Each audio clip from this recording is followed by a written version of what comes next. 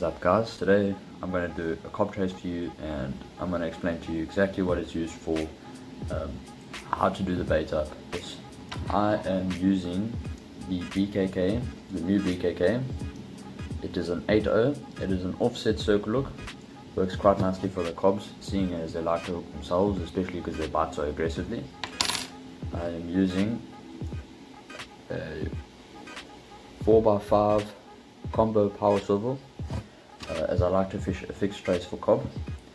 Uh, reason being is because obviously the aggressive bite gives you a direct uh, pull on the kob and then you have a very big, uh, a better setup rate, uh, hook set rate.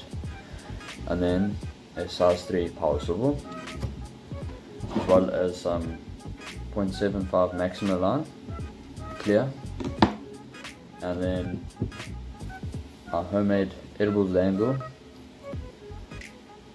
you can see there. It's got glow in the dark foam. And uh, what I like to do sometimes with the uh, dangles is I like to push a rattler into the foam um, because it just gives a little bit more vibration in the water. And then it also like gives it a little bit of a, a noise factor uh, in the water which uh, attracts a kob to your bait uh, so that he comes and tries it. And then obviously the glow in the dark foam uh, for if you're fishing murky waters or if you're fishing uh, in the night, which sometimes you do for kob. Um, yeah, it just acts as an attractant uh, in the water. And uh, all you're going to fish on these um, glow in the dark foam uh, dangles is white baits, strictly white baits in, in the night. What you can do is you can take a sardine belly and put it on the side of the chokka um, or, or, the white bait. Uh, that works quite nicely. Uh, so yeah, let's get into the video. So for this trace, we're going to start off by taking our maxima and we are going to measure out our hook snoot. So what I like to do for edibles traces is make the hook snoot slightly longer than normal, um, just so that it floats up higher uh, and that sort of stuff. And then your trace is also longer. So I measure out a meter, so from my hand to my shoulder is roughly a meter. I snip it off. So you're going to need scissors and pliers for this video. So I snip it off. Then I take my circle hook. And that same um, that same snell knot that I used in my last video or in the video that you saw of the full metal jackets and the bar trace so there we go make it like that so you hold it one tag in that side take the rest of the nylon make a loop like normal.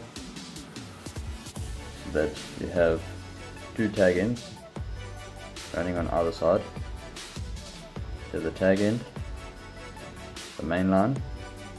Then on this side you have another tag end. You have another tag end over there and the main line. So what you want to do for this, you want to hold the main line and you want to wrap around once like that, make one wrap. Okay, and then two wraps.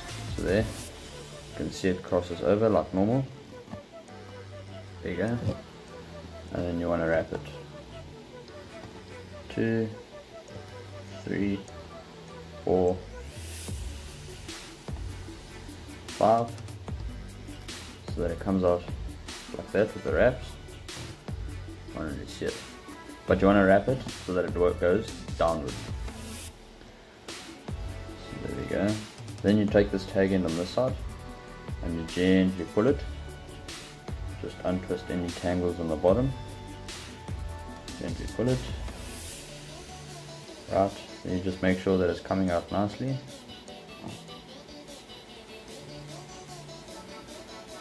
There you go, just like that. Keep pulling it till you get to this point here. Till you get to that point, right? And then it's there, just make sure that this tag end runs along the back end of the hook. Right? then you continue to pull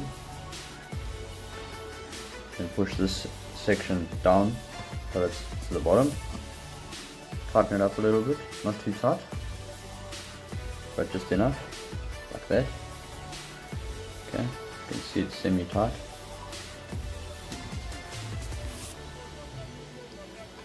Right, then you take the other tag end, the end of the line.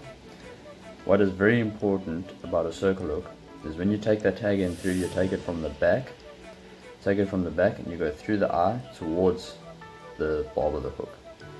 So you go, take it from the back of the hook in through the eye, from the back in through the eye like that, and then pull it through.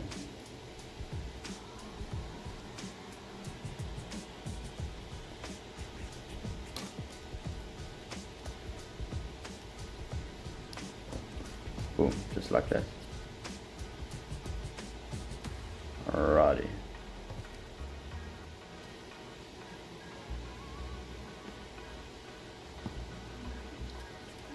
Then your next step is to pull that knot back up towards the eye. Okay. Lubricate it a little bit. Have your pliers. Hold that tag end like that. And pull the knot tight. There you go. Let's see the nylon snip. Right, there we go.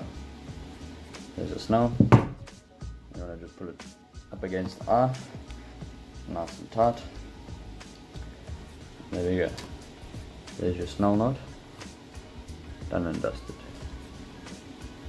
Alright, I'm gonna take this tag end. Okay, I'll take this tag end, snip off any excess. There we are. And now you'll see the lucky thing about these hooks is due to the bend on the back and the way we've done the snell, it actually holds the hook nice and straight. So it's not like bent up or bent back or anything like that, it's nice and straight and the bait will sit like that in the water nicely. Okay? Now once you've done this part, you want to grab your combination swivel, alright, and you want to grab the bigger section, the bigger swivel, so the bigger section of the swivel, the bigger swivel, and you tie it onto that end with a figure of eight, just a normal standard figure of eight. Boom. Boom. Boom. Oh. There you go. Remember, when doing a figure of eight, always open it up. You're supposed to guard it down Sometimes they can be a bit stubborn. There we go. I've opened it up. So let's form the nice figure of 8. Haven't tightened it completely. Like that. Put it down gently towards there. Lubricate it. Okay. Pull it closed a little bit. It's not completely closed, but it is getting near to that point. Grab your pliers. Grab your pliers. Hold it inside that R, like that. Pull down slowly. Pull it closed. And then down and lock it. Nice and tight. cut your tag end off like that and there we go there's your swivel tied on nicely so then you'll have this swivel so this swivel here will be for your sinker and that'll be tied to the rest of the nylon so the way I like to make it is I take another meter of this 0.75 you can make it thicker if you want but I like to keep it moderately the same. Then I take it and I make from there my second shoulder. So there. And I cut it off. And then to the bigger the biggest eye within the combination you tie a figure of eight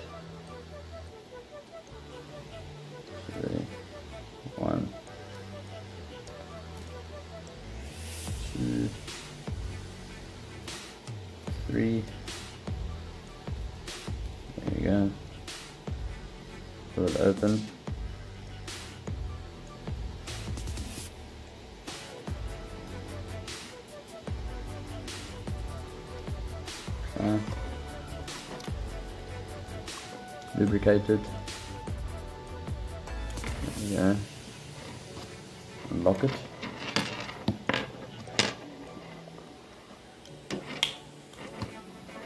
There you go. Now you can see they're both tied on. Figure eight. We want to focus. There you go. You can see there.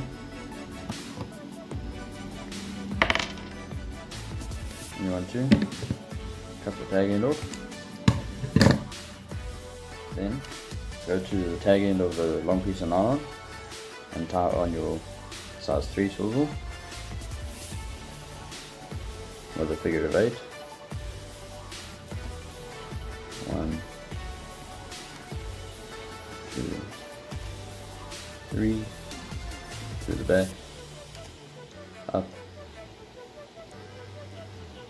open your figure of 8 up so it makes a nice 8 shape. Like that.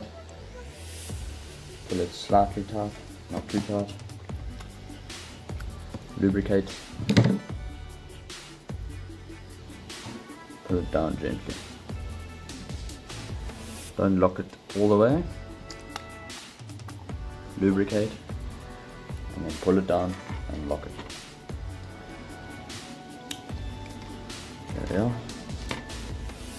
figure of eight. Sitting quite nicely.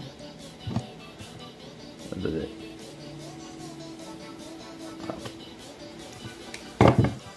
then snip it, boom, and there's your trace.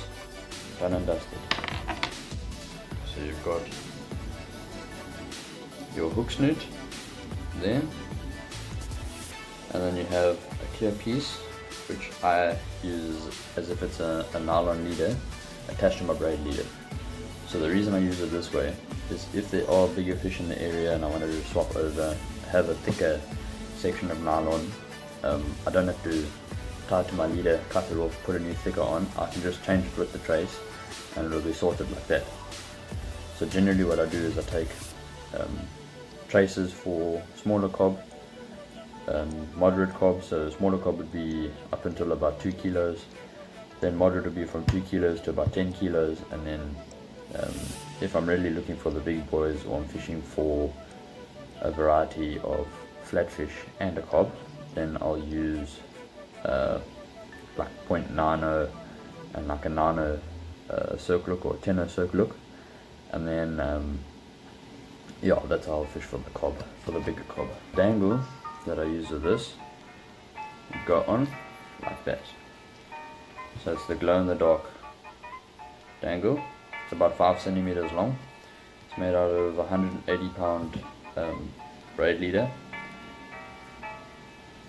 Uh, if you want to find out how to make a different type of edible dangle, go hop onto Zander de Beer's um, YouTube channel, Zuluk Fishing. Uh, he actually does a video and he shows you how to make uh, an edible dangle. Uh, I've modified a little bit by the foam and the way that I put it on the hook, uh, just to my preferred method. But if you want to go have a look at that, uh, I would definitely suggest that you go and hop onto his channel and have a look at that. Another trace that I like to carry with me is a J-hook trace. So that's a J-hook swearing. And the thing with the J-hook is, the reason why we use a J-hook as well, is you have your bait directly on the shank of the hook um, with a bit of foam as you can see. This is also glow in the dark. Um, and what this allows for is if the smaller kob are around um, or your kob are feeding very pickishly and they're not taking you completely flat, uh, we call those, or the guys in East London call them uh, snatch kob I believe, uh, where they take you down and they hit and they don't commit. Um, so what they do is they actually grab the bait, shake, shake, and then they drop the bait instantly. Um, so what you can do with a J-hook is in that case, is the minute you get the bite, just swat it. Um, but yeah, here in KZN we don't really get them a lot, but when you do have those smaller kob and they're being very pickish and they're not taking the, uh, the circle hook with the dangle, then you whack on this trace, put a bait on the back of this hook here, throw it in, and then uh, yeah, have some fun. Uh, so yeah, it's the same basic method. Got my hook snoot attached to the size 4-5 swivel with 0.75 nylon, and then again with the leader story, the same 0.75 nylon to a size 3 swivel. Uh, so yeah, that's my traces um, that have helped me catch plenty kob. Um, I don't always take a photo of a kob because it's, it's not really a, a fish you take a photo of unless you catch like a 5 to 10 kilo one or a 7 kilo one or something like that, you know, a decent size. Um, but yeah, I'm still hunting down that big kob and uh, yeah, the, the baits and stuff you'd use for um, kob would be like prawns, ocky legs, chokka, um, chokka with sardine belly on the back, uh, sardine heads, um, that sort of stuff.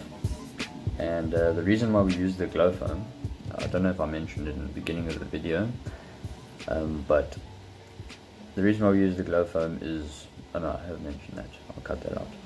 So with the with these types of traces and the baits that you use for these works quite nicely when fishing um, let's say an area like for us KZN boys um, banks uh, you're not getting those diamonds and stuff like that. There's lots of brown skates around there's lots of kob um, and there might be a possibility of a spinner or two uh, whack on this this boy here look and the dangle um, and then yeah you can have fun with variety if you find you're getting bitten off then change to a 60 pound bite trace and if you find you're still getting bitten off on that, then definitely change to 90 pounds. But I will definitely, definitely recommend starting with this um, and then working your way up. Obviously, just because of the movement in the water. And then, like I mentioned earlier, the fish are getting picky, whack this guy on. The reason why I don't like using J hooks is also if a spinner or something jump, jumps on, um, tends to gobble that whole bait up one time and then he bites you off on the nylon, which is quite close to the shank of the hook. Whereas with the circle hook, he has to pump the circle hook and he has to pump the bait. So generally what happens is you'll bite, bite, bite, go over the shank of the hook, get hooked, and then the hook is sitting outside of his mouth and the line stays outside of his mouth as long as you keep constant pressure. Then you, it, it's a little bit harder or a little bit more difficult for him to you. Hope you guys enjoyed the video. I hope it was informative. I hope it helped you guys. And uh, yeah, please, if you guys do catch fish, um, post it on Facebook. Tag me in the post if you use my traces. Um, yeah, I'd really like to hear guys' feedback. Uh, if you have any ideas or things you want me to show you, please do comment down below in the video. Um, but yeah, we'll see you in the next one. Cheers, guys.